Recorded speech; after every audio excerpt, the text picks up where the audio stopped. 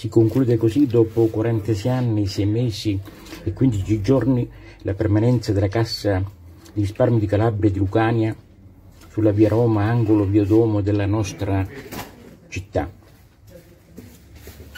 5 maggio 1975, giornata di grande speranza per la nostra città e per la nostra comunità. 19 novembre 2021, giornata di grande delusione per tutta la nostra città di Gioia Tauro.